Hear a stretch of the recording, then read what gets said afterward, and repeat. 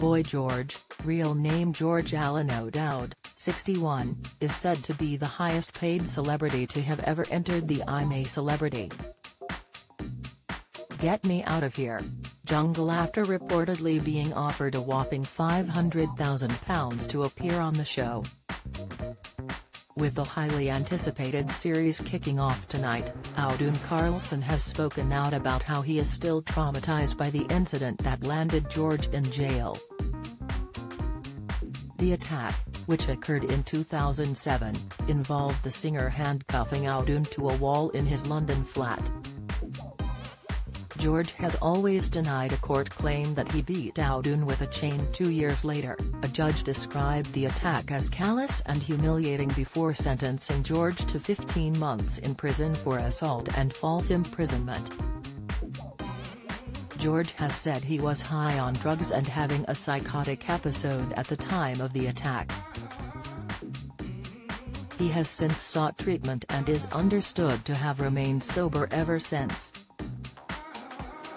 Now, Audun has spoken out about the ordeal and slammed ITV for giving George a platform on the hugely popular show.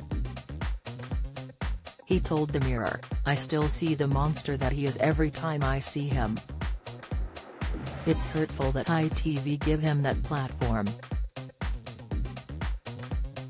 Had I been a woman and he did what he did, he would never have been given the platform.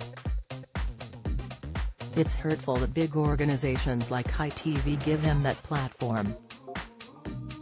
I think giving him this sort of platform and a record fee sends the wrong message to survivors of violence and abuse and is plain wrong.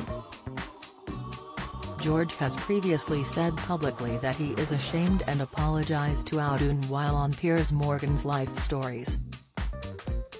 In response to Audun's comments, a spokesman for George told the aforementioned publication, George went to jail for four months willingly after openly confessing to false imprisonment during a psychotic break 15 years ago whilst in the midst of a well-documented drug problem.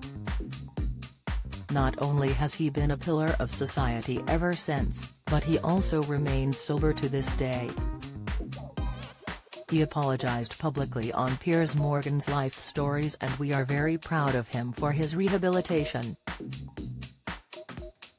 Everyone is entitled to a second chance and George has certainly earned it.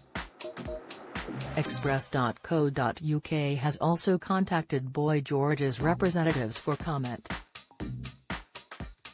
As for Audun's comments that it is hurtful that ITV has given him a platform, a source for the broadcaster told Express. Co.uk, this is a historic, spent conviction and George has appeared on major TV networks globally on numerous occasions since over the last decade. Following his time in jail, Boy George made a comeback as a judge on the fifth series of The Voice UK, replacing Tom Jones as a mentor. He later joined The Voice Australia as a coach for three seasons. In addition, George has made several guest appearances on Bravo's The Real Housewives of Beverly Hills alongside his manager Paul Kemsley and his wife Dorit.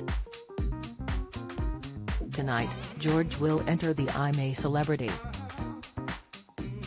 Get Me Out of Here. Jungle alongside the likes of Matt Hancock, Mike Tindall, and Chris Moyles. You can watch at 9 p.m. on ITV.